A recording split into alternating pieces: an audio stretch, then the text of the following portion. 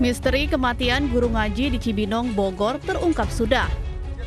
Korban Atikotul Mahya atau Bunda Maya yang ditemukan tewas dalam sumur ini dibunuh suami pembantunya sendiri.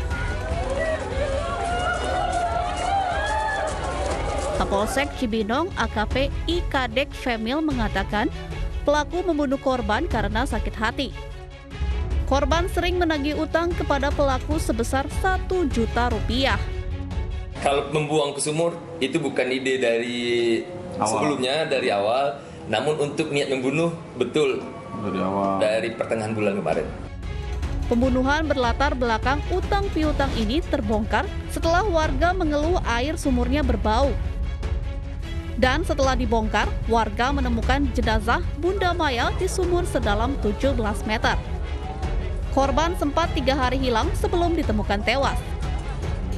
Dari Bogor, Jawa Barat, Wildan Hidayat, iNews